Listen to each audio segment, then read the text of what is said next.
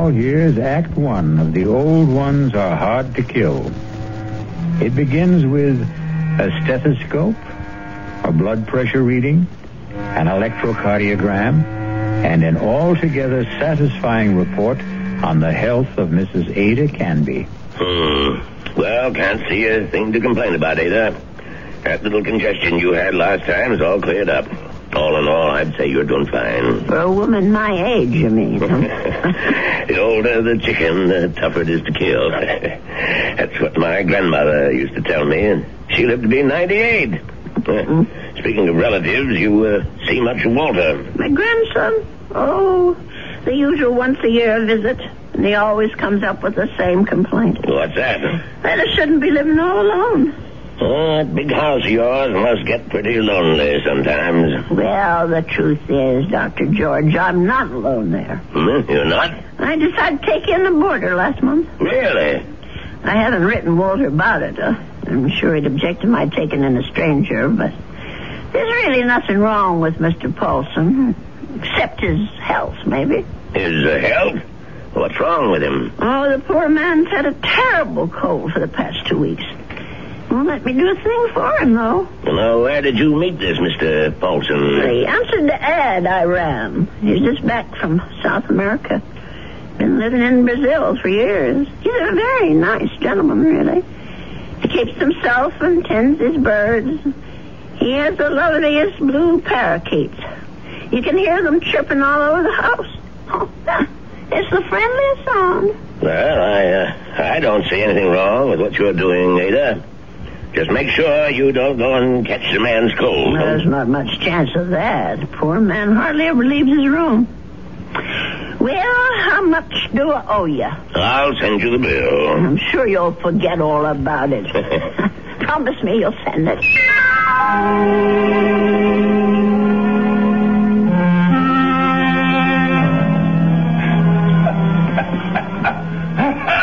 Oh, dear. Mr. Paulson? Are you all right? Yes, Mrs. Canby. I'm all right. That cough sounds worse than ever to me. Why don't you let me fix you a little hot milk and honey? No, thank you, Mrs. Canby. Thanks very much. I'm going to try to get some sleep. Well, all right, if you say so. I guess it's time I was in bed myself.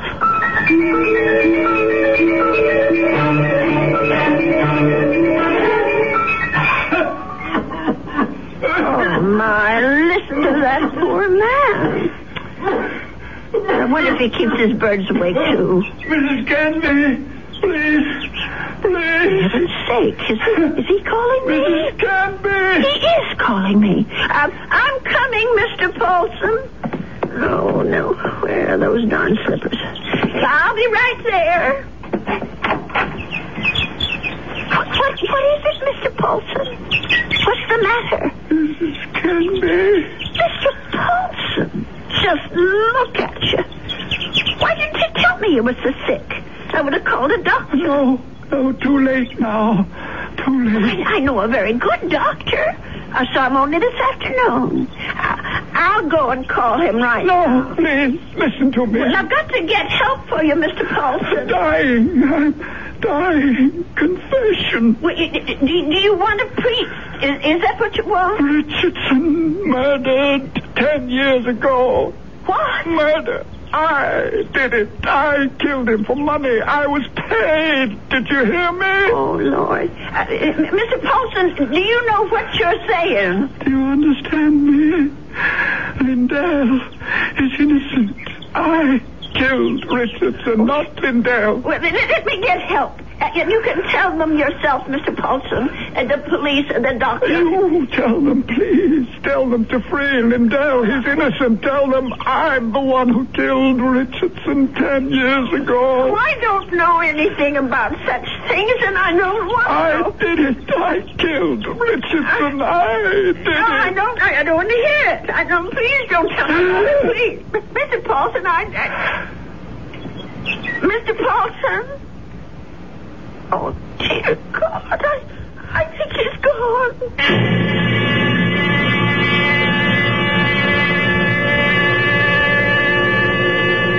Listen to those poor little birdies. I suppose they miss poor Mr. Paulson. I'll leave them in his room. Well, let's see about this letter now. Dear Walter, I hope you don't mind my turning to you for advice, but I really don't know what to do.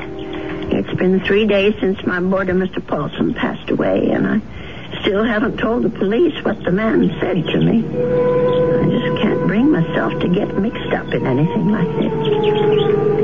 Ah, dear, what's the use of writing Walter? He'll probably think I've dreamed it all up. No, I'll just forget it. How do you forget such a thing? Those names, I keep hearing them. Richardson, Lindell. Lindell is innocent. Oh, dear God, what if it's all true?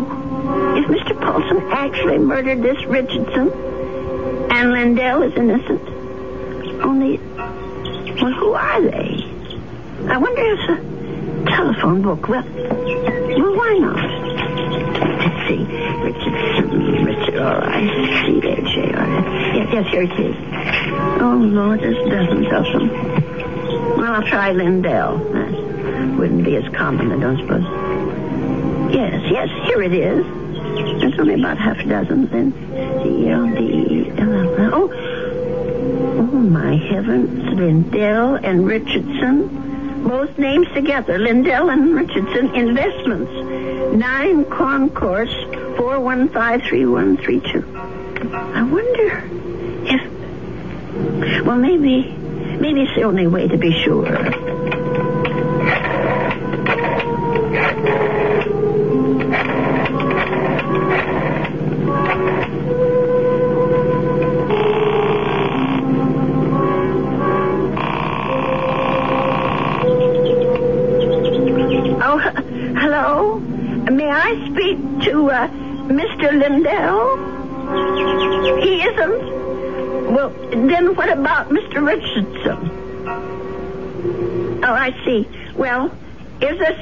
Someone there I can speak to? Yes, yes, please. Thank you. Hello.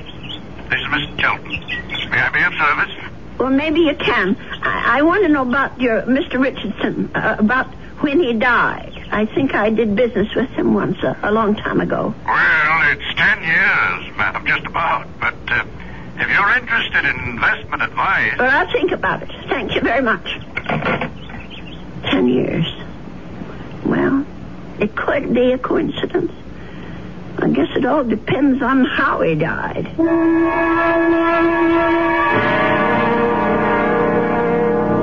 Well, Mrs. Canby, please come in. Have a seat.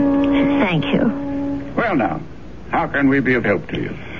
Well, I didn't come here to get help, Mr. Shelton. I came to help you, as a matter of fact.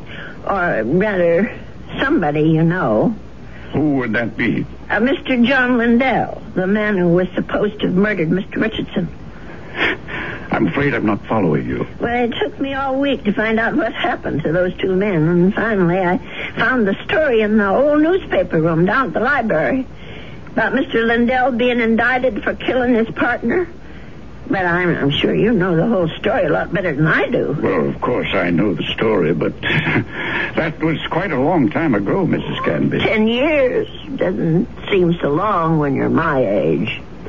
Anyway, the point is that I can help you, Mr. Lindell, only I can't do it alone. Did you know John Lindell? No, no, I didn't. Nor Mr. Richardson, for that matter. The man I knew was named Paulson. Who? I rented a room to Mr. Paulson, and he died about eight days ago of pneumonia. I was there when it happened. Oh, that's unfortunate, but uh, Before he died, Mr. Paulson told me something about Mr. Richardson's murder. He said Mr. Lindell hadn't been responsible, that he, Mr. Paulson, had committed it. For money. Oh, Mrs. Canby, listen to me. It was this man Lindell that bothered him. The fact that he was in prison for something he didn't do. I thought I should tell you this, Mr. Shelton, because you knew both of these gentlemen. It said so in the newspaper. Mrs. Canby, my my dear woman. What?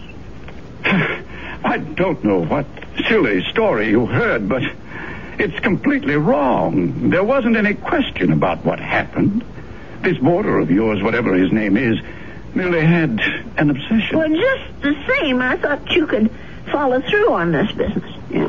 Tell the police. Because if it is true, Mr. Lindell should be freed. On evidence like that? Well, I don't know anything about evidence. I'm just telling you what I heard. Well, never mind. I suppose I should have told the police myself. Oh, wait, wait, Mrs. Canby. Uh, let me put your mind at rest. John Lindell is no longer in prison. He isn't? He's dead, Mrs. Canby. He's been dead for the last three years. Oh. He wasn't a young man when all this happened, when he accused his partner, Fred Richardson, of defrauding him and shot him dead. He died? In prison? Even if all you say is true, that this man was Richardson's murderer, you can't help John Lindell any longer. He's beyond that. But his name, don't you want to his name? Have you any proof? Any living witness? Uh, Just myself. Forget it, Mrs. Canby. That's my advice to you. The old wound is healed. Don't reopen it. Oh, well, it troubles me so. I haven't thought of anything else since it happened. Perhaps if I saw a, a minister, if I had some advice from a man of God. Eh? maybe- Mrs. Canby, now you said something. Now you've shown me the way. That's where our answer lies, dear woman, in prayer. Mm-hmm. In the forgiveness of our dear Lord. Will you pray with me, Mrs. Canby? Pray? Here? Why not? God is everywhere. Please, join me. Dear Lord, tell us what to do. Give us your divine guidance. Show us the path to righteousness. Mr. Shelton, I... Help us, O Lord. Help us to understand. Teach us to forgive the sins of others and to forget them. To forget. I feel much better now, Mrs. Canby. Do you? I'm not sure. Let us turn this matter over to God, Mrs. Canby, not to the police, but to the Lord. It's in His hands now. Don't you agree? Well, in a way, that's true. Since they're dead now. All of them.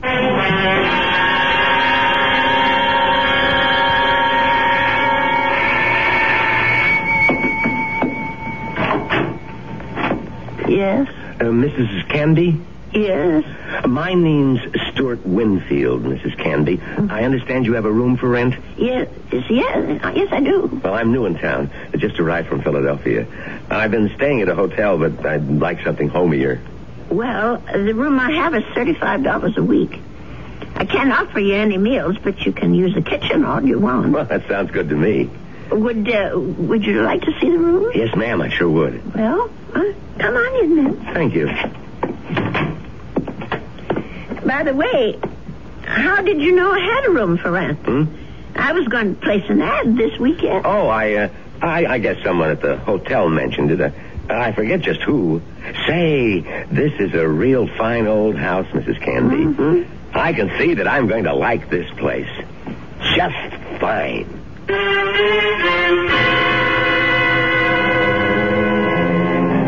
And so Mrs. Canby has a new boarder. He's a very personable young man with a great deal more charm than old Mr. Paulson had. Perhaps in a little while Mrs. Canby will be able to forget her former boarder and the shocking confession he made on his deathbed. I'll be back shortly with Act Two. I want.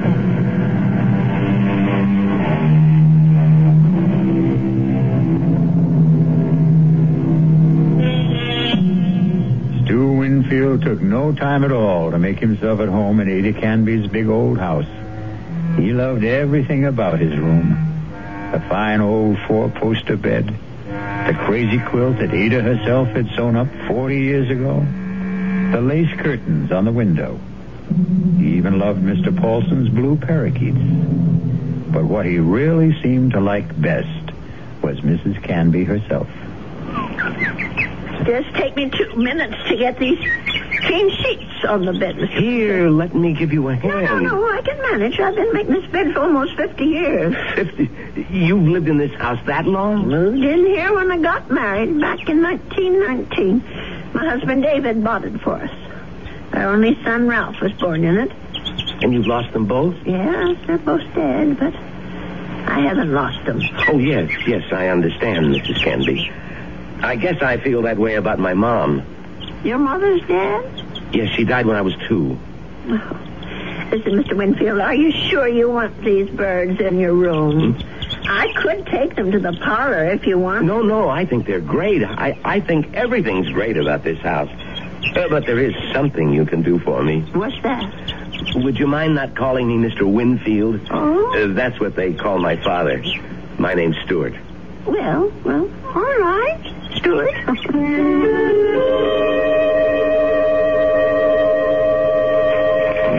I think it's about time I told you that I have a boarder in the house. Mr. Winfield is the nicest young man you could want to meet. He's a great deal friendlier than my first gentleman, Mr. Paulson, and he seems to like nothing better than to sit around evenings and talk. We talk about his home and his parents and his plans for the future. I think the poor boy misses his home and family, and I'm sort of a substitute for all that. You know, it isn't really fair, Mrs. Canby. You said I had kitchen privileges, but that doesn't mean you have to cook for me. Well, it's a pleasure, Stuart. I haven't had anyone to cook for in years. You're kidding. You mean to say you cook this good without practice? Oh, you're just being nice. I'm sure that stew is just plain ordinary. It's terrific, no kidding. It, it tastes like, well, it it tastes like home, if you know what I mean. Well, It depends on whose home you mean. well, my mom cooks stews like this. That's what I meant. Your mom?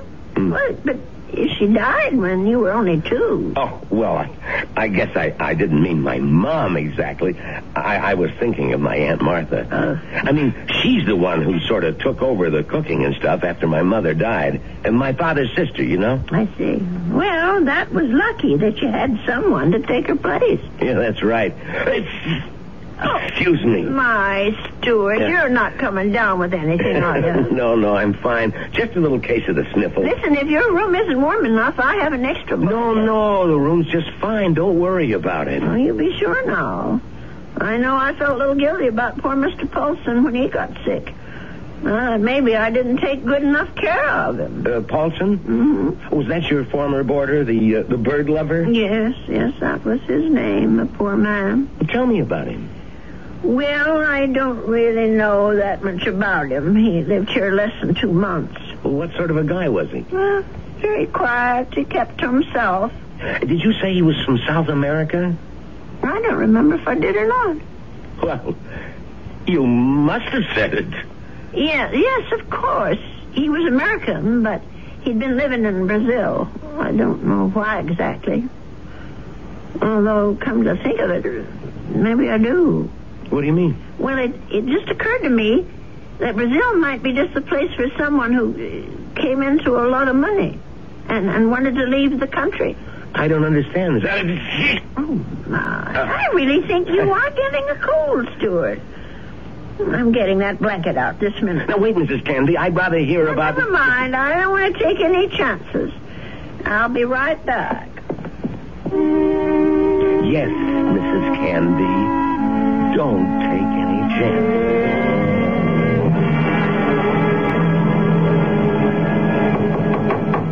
Stuart, Yes? Come in. I brought you a tray, Stuart. Oh. No, you shouldn't have. you shouldn't have gone to all that trouble, Mrs. Candy. Wasn't the least bit of trouble. Besides, you've got to have some supper. Feed a cold and starve a fever. That's what I mean, I, I was going to come out to the kitchen and and get myself a sandwich or something. You didn't have to bring it to me. Oh, look at that. Is that roast chicken? Well, that's what it's supposed to be. I hope it tastes all right. Noodle soup with dumplings. Mrs. Candy, you're spoiling me rotten. Do you know that? Yeah, I just thought it'd be a good idea if you stayed in bed and took it easy. You weren't planning to go out tonight, were you? No, no, I was just going to stay in and read for a while. Maybe watch television. Oh, that's good. Here, I'll just set this tray down. Oh, the service here is just too good. Oh, we we never uh, never finished our talk the other day about that border of yours, uh, Mr. Paulson. Well, there's not much to say about him, really. Well, you said something about his living in South America. you said you thought you understood why he was living there. Sounded real interesting.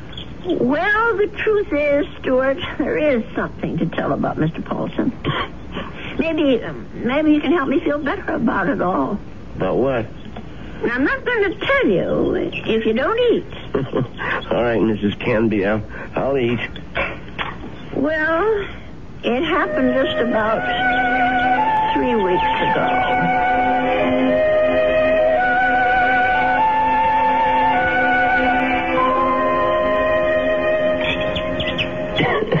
You know something, Mrs. Candy? That's about the best roast chicken I've had in years. I'm sure I spoiled your appetite with all my chatter. No, no, that was a really interesting story. But what do you think of it all, Stuart? Hmm? No, the killer is the man who hired Mr. Paulson. Don't you see? Is it right that he should get away with it? Now, wait a minute. You're jumping to conclusions. No, I'm not. Mr. Paulson told me that he was hired to do this thing. Well, maybe he was hired by Lindell. Maybe Lindell hired him, and then Paulson got cold feet, and Lindell did the shooting himself. Mm, No, I'm sure that isn't true. You see, I read the newspaper article all about it. Well, you you really were thorough about this, weren't you, Mrs. Candy? You poor man. That cold's gone to your chest now, hasn't it? No, I'm all, I'm all right. Stop stop worrying about me. Let's talk about this this other problem of yours. Well, maybe I'm making it more of a problem than it should be. Maybe if I just told the police everything, I could forget it once and for all. No, I uh, I, I really couldn't advise that, Mrs. Candy. Well, it said in the newspaper story that the two men were partners in that investment firm. Uh, and Mr. Lindell thought that his partner Richardson was cheating, taking money out of the firm, and that's why he's supposed to have shot him. Wasn't there a witness to the shooting? Why, yes, I think there was. Come to think of it, it was Mr. Shelton. That's right, that's right. Well, doesn't that doesn't that wrap it up for you? Well, it would if it wasn't for Mr. Paulson. Listen, Mrs. Candy, you know how much I like you. Why, in just a few days, you're more like family to me than my Aunt Martha ever was. Well, it's nice of you to say, Stuart. And that's why I want you to listen to me about this. That's why I want you to forget about this whole foolish thing. And Listen to you. You sound awful, Stuart. Just terrible. No, I'm, I'm all right. No, you're not all right. I'm going to get you some cough medicine right this minute.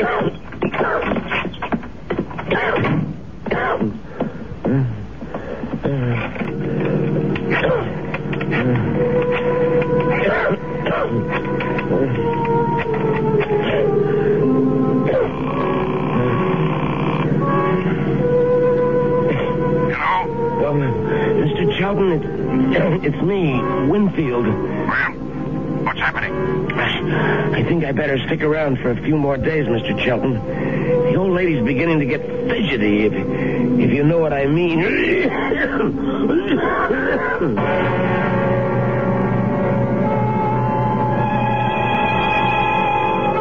Well, something tells me that Stuart Winfield isn't such a nice young man after all. Could it be that he wasn't telling Mrs. Canby the truth about his dear mother and his Aunt Martha? Could he have not told her the truth about his plans for the future? Of course, the real issue is, what sort of plan does he have for Ada Canby's future? I'll be back shortly with Act Three. If you want to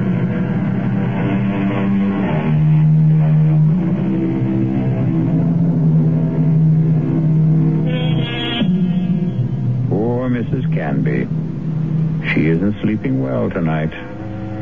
But of course, Mrs. Canby has good reasons for insomnia. Her thoughts are whirling. Her boarder Stuart was right. She doesn't want the bother of going to the police. And she firmly believes in the old adage if you don't trouble trouble, trouble won't trouble you. But still. Oh, my. I'm just never going to get to sleep tonight.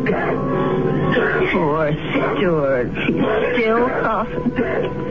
I'm sure that room is just too drafty. I never should have let any boarders in until I got the windows fixed. Oh, dear. That poor boy. I'll never forget the terrible night Mr. Paulson was coughing so badly. Huh? And the way he looked, all gray and shrunken. If only I knew he was so sick. No.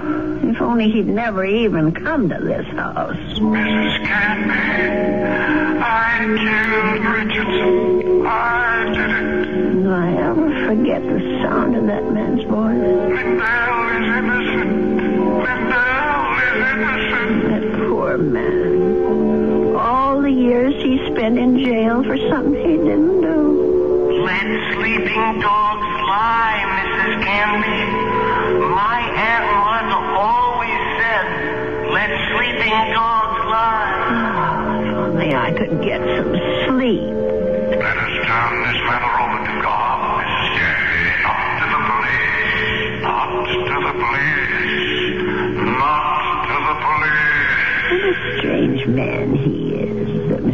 Shelton. Way he talked about God, praying at his desk. Of course, God is everywhere, but his desk.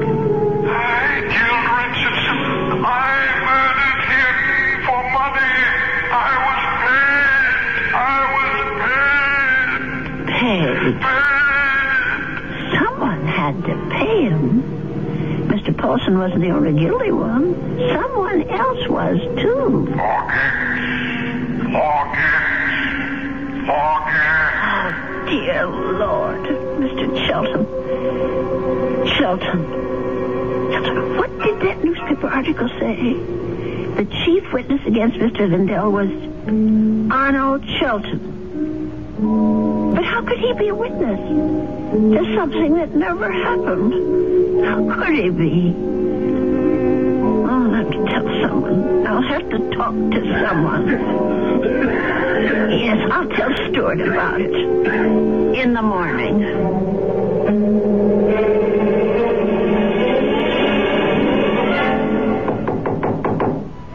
Stuart, are you awake? Yes, I'm up, Mrs. Canby. Come in. Oh, oh no. Now, don't tell me I'm getting breakfast in bed, too. Well, I know you had a terrible night last night, Stuart. You were coughing much worse than ever. I guess that medicine wasn't very good. Sorry I kept you awake, Mrs. No, that wasn't your fault. No. Something else kept me up. What was that? Oh, my mind, I guess. Maybe I hmm. should say my conscience. Oh, that sounds serious. But it is something serious, Stuart. Well, I might have let a man get away with murder. No, it's even worse than that. He did something worse than murder. You're talking about Paulson again. No, I'm talking about the man who hired Mr. Paulson. He didn't just have that man Richardson shot. He let an innocent person go to jail and die there. Now, that's like committing two murders, if you ask me. I have to tell you something that occurred to me last night. sure, go ahead. Well, it's about Mr. Shelton. Mr. Arnold Shelton. Yeah? Go on. I- I'm listening. Stuart, I wonder if maybe the reason Mr. Shelton was so upset with me, the reason he didn't want me to go to the police, was because he was afraid. Explain what you mean. Well, what I mean is maybe Mr. Shelton had good reason besides the one he told me.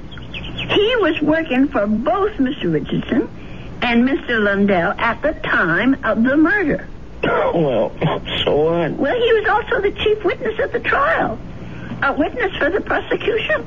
But he saw the shooting, didn't he? But that's just the point. He saw Mr. Lindell shoot Mr. Richardson. Well, that's not what you told me last time. I mean that he was an eyewitness. No, that's right. He didn't actually see the shooting. He was miles away when it happened. I don't quite remember the details. There was something about a phone call, maybe? Y- yes, yes, that's what it was. He claimed that Mr. Richardson was talking to him on the phone when Mr. Lindell showed up at his apartment. He said that Richardson cried out something about Lindell having a gun. And then he heard the shot. But how could that have happened if the gun was fired by Mr. Paulson? If, Mrs. Canby, that's the big little word, isn't it? If. But don't you see what I'm saying, Stuart? Arnold Shelton had the most to gain Gain from what? from both these men leaving the firm. That'll leave the whole thing him. All those customers, all the investments he handles, all the commissions, or whatever they call it. Are you accusing this guy Shelton of being the killer? Yes. It's it's the only answer, Stuart. Well, look, if that was the case, the, the police would have figured it out. But they didn't. There was nothing in the stories I read that pointed any suspicion at Mr. Shelton. I don't suppose it even occurred to them. And now, the company is all his. You don't, you don't call that evidence, do you? Well, then why didn't he let me go to the police? Why did he try so hard to talk me out of it? That man was praying to it. He was taking the name of the Lord. Oh, I'm sorry, Stuart. I'm so sorry. I won't bother you anymore. I know what I have to do anyway.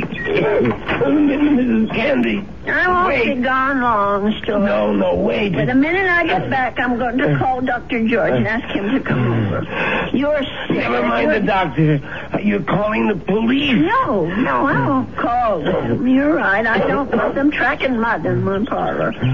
I'm going down to the station house and talk to them. I'll get dressed now and go straight there. Please, please think about what you're doing. I'll tell them what I know, and they can do the rest. Now, you try to eat something, Stuart. Please.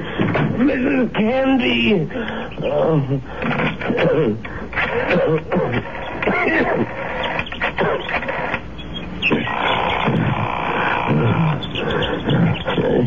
Shelton, What is this, Winfield? I told you not to call me at the office. it's an emergency. You sound terrible. What's the matter with you? Uh, I'm sick. Only you're going to be a lot sicker. What are you talking about? The old lady, I can't stop her. She's decided to talk. What? She figured it out. Figured out exactly what you did, Shelton, and how you did it. You fool. You've got to stop her. Do you hear me? That wasn't part of the deal, Shelton. It's all of the deal now. The price didn't include anything like that. The price just mm. doubled. Mm. Old ladies mm. are always having accidents. Make her have one. Make her have one now, Winfield. Oh, all right, all right. She's gonna, she's gonna have a fall down the cellar steps right now. I gotta get my robe on my slippers. I, I gotta hurry. In.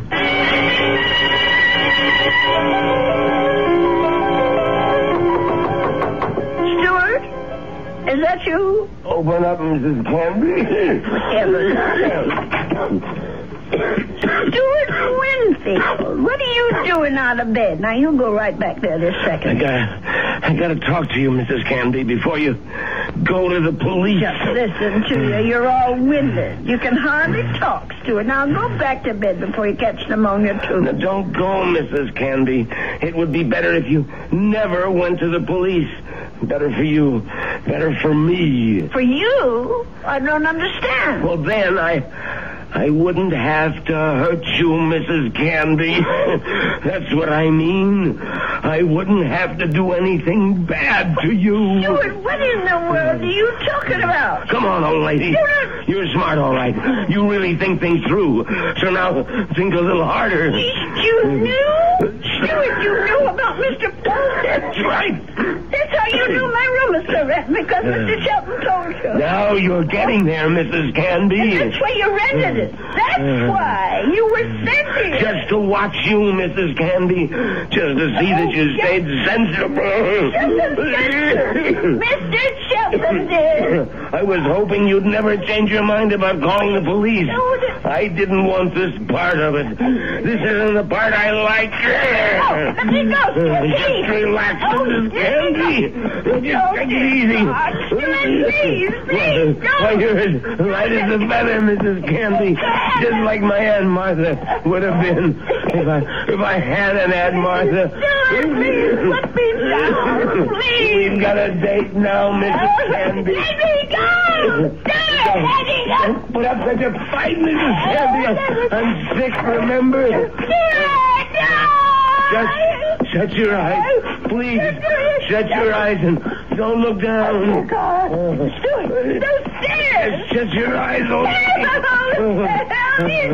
They'll all be over. It's,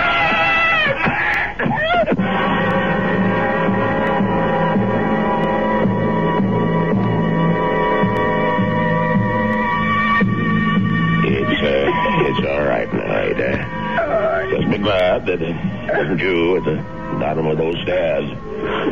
Will, will he be all right, Dr. George? Now, what do you want to worry about that man for? Truth is, his uh, injuries don't amount to very much. A couple of broken ribs seem to be the worst of it. But he'll be a patient for some time before they can put him in prison where he belongs. Him and his uh, friend. What was that man's name again? You mean Mr. Shelton? Have they arrested him? Yeah, yeah. That's what the police detective said. I don't understand. Stuart's injuries aren't serious. It's not the fall that made Winfield so sick. His case was diagnosed as simple pneumonia at first. And then I remembered about your first boarder. Nelson, was it? No, Paulson. Yes, Nelson. But he had pneumonia, too. He died of it. Oh, is, is pneumonia contagious? Yes, yes, it is, but this disease was even more contagious. It's a pneumonia caused by a disease called psittacosis, better known as parrot fever. Uh, You get it from sick birds, like the parakeets in your spare room. oh, no. Mr. Paulson's bird. Sorry, Ada, but they had to be taken out and destroyed. Oh, what a shame. There's one reason I, I feel sorry for them. They saved your life. Made Mr. Winfield too weak even to throw a little old lady down a flight of steps. Uh, those poor little creatures. Yeah, but you can be grateful they didn't make you sick, too. Parrot fever is so contagious that no more than one person in a thousand could be exposed to it and escape infection. It was pretty darn close to a miracle, Ada. They're hard to kill, Doctor. Remember? The old ones are hard to kill.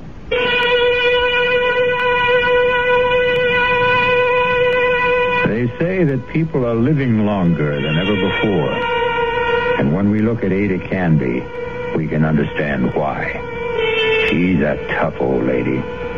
So tough she could withstand the threats of man, beasts, and bird. So let that be a warning to all those who think that our senior citizens are easy prey for crime. Watch out. They may turn the tables on you. Or the stairs. I'll be back shortly.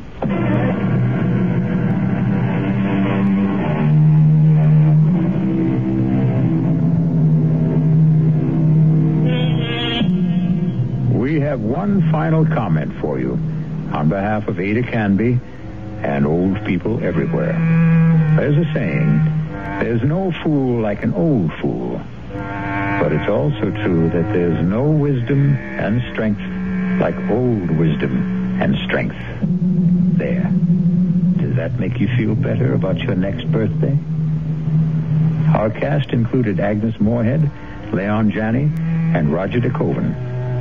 The entire production was under the direction of Himan Brown. This is E.G. Marshall inviting you to return to our Mystery Theater for another adventure in the macabre. Until next time, pleasant dreams.